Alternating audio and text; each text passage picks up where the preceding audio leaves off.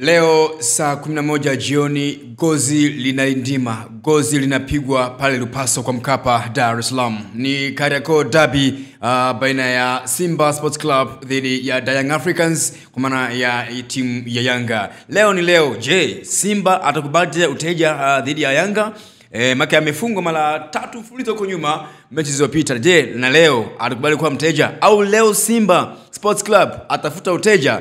Na mapema leo nilizungumza na waziri wa madini ambaye pia ni mbunge wa jimbo la Dodoma mjini, uh, mheshimiwa wakili msomi Anthony Peter Mavunde ambaye alisema haya uh, kuhusiana ama kuelekea dabi hii ya Kariakoo baina ya Simba Sports Club pamoja na Young Africans. Naam, Mheshimiwa Mavunde, uh, leo ni dabi ya Kariakoo kati ya Simba na Yanga, lakini pia ni mwanamichezo, labda una neno la kuwatakia wa Simba na Yanga. Karibu sana. Uh, Leo ni mchezo wa dabi ambao utakuwa ni mchezo mzuri wenye ushindani mkubwa na ufundi mkubwa. Naamini utakuwa ni mchezo wenye kuvutia sana. Kwa tunawatakia la heri timu zote ambazo tutashiriki. Naamini yule aliyekuwa kajiandaa vizuri bora atashinda mchezo wa leo. Asante. Pengine presha iliyopo kwa, kwa, kwa, kwa mshabiki lakini pia kwa wadau wa mchezo wa kwa rekodi kupita nyuma Simba na Yanga, pengine labda unasema upande upi kwa eneo hilo?